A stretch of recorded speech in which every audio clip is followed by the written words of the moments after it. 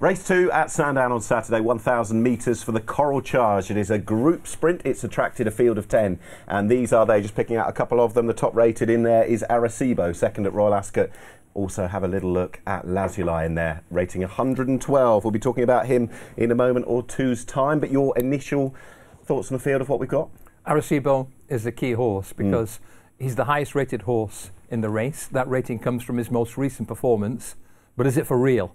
He came home really strongly, a career best effort in the King's Stand Stakes, but that was an unusual race tactically, as you know, Nick. They went a million yes. miles an hour. That's perfect for Arecibo. I'm not sure that Saturday's race sets up quite so perfectly for him. I did worry a little. He was only rated 104 at Royal Ascot, but the retrospective hit is nine pounds. He's now 113. Let's have a look at Lazuli. I'll stick with you, Graham. Lazuli, Lazuli. I'm never too sure exactly what it is, but we were in here, of course, previewing 2,000 Guineas Day at Newmarket. This was the Palace House Stakes, one of the races previewed, and it was Lazuli who came out on top. Absolutely, um, and three friends reunite here, and the two who chased home um, Lazuli on this occasion, came from the dark, and Arecibo had excuses to major and minor degrees. Uh, Arecibo was certainly squeezed at a crucial point, came for the dark, had to wait for a run. But what's not to like about a horse like Lazuli? He's very straightforward. He's got a very good record at Sandown. I think he defied a small penalty here. He has a small penalty again this weekend.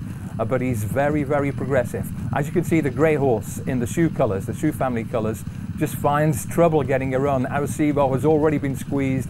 Lazuli doesn't hang around to take advantage. Three closely matched horses, John. How's it shake down this weekend?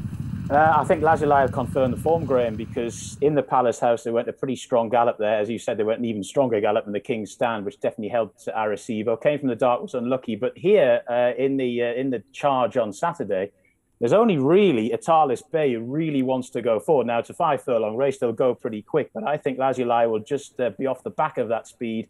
The other two, I think, do need that strong gallop to be seen at their best. And I think Lazuli might be uh, in, a, in a good place to fend them off. Let's have a look at Atalis Bay. Recently at Sandown, within the month of June, this was the horse winning the Scurry Stakes. He put up a good performance the time before when chasing home a rattling quick horse at York. And in doing this, winning the Scurry and then going on to do this, uh, going on to this assignment on Saturdays, looking to emulate Battaash, who did it a few years ago. Yeah, he's not as good as Battaash, no. but he's quick and he's progressive. And some would say he's from the right age group. The three-year-olds, I think, have won seven of the last ten renewals. Yep. That's not a stat that I'm going to uh, really uh, cleave to but he's banging form. Sandown's a plus for him. But I think on most ratings, John, whether you look BHA, Racing Post ratings, Timeform ratings, they'll all give him at least a couple of lengths to find. Seven or eight pounds more improvement needed if he's to win this weekend. Yeah, he does require that, but he's the almost certain leader. They don't bet on these things, but with about two and a half furlongs to go, he'll be in front. Just a question of uh, can others get past him. I think one or two will, but he's in the numbers. Right, let's have a quick look at Arecibo and what he did at Newmarket over on the Rowley Mile course back in May. I was lucky enough to be here this day. There were six runners, Graham, four of them trained by Robert Cowell, and I think he was quite pleased with this result. One, two, three, four for the yard. Yeah, hats off to Robert. They call him the Spring King, and, and Arecibo is one of his masterpieces so far. Just I think he'd lost 20 in a row before he came to Robert. He is a, a revelation nowadays, but he does need a certain set of conditions. He needs holding up perfect ride for Jay Spencer. Yep. He needs a very strong gallop and he needs leaders to be faltering late. That's where he got, he got here on testing ground. He handles fast ground, no problem, as he showed at Royal Ascot. But tactically, John, I could see Arecibo coming strong and late, uh, but having some strong rivals ahead of him when he does. Yeah, I think so. I called this race that day at Newmarket. From about two and a half furlongs to go, I thought Arecibo was going to win this because the, first couple uh, in the uh, on the speed map there went far too quick, uh, and he just absolutely cruised into it and won nicely.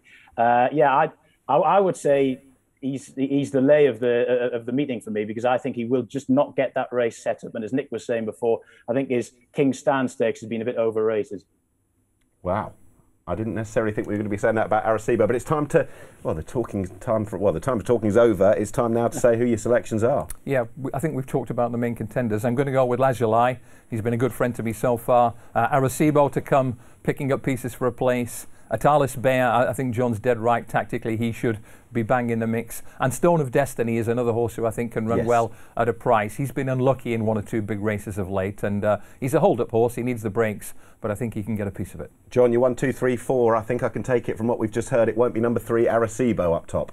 Well, I like Arecibo, and uh, as I say, he did uh, did me a decent turn each way in the King's Stand, but uh, he's not going to get that sort of setup today. Lazuli, I thought was a really good run at Newmarket. He's done really well thus far in his career, and he'll just sit off the pace set by a tireless Ben. I think he'll be too strong. Came from the dark, was unlucky in the Palace House Stakes. I was a bit uh, disappointed they didn't go to Royal Ascot with that horse, but I think this is ideal for him. He'll not be too far away. Look out for Ainsdale, ran pretty well in the Chipchase mm. Stakes. Back to five furlongs, I think he'll go all right as well. Okay, that was the Coral Charge, fast and furious race two at Sandown.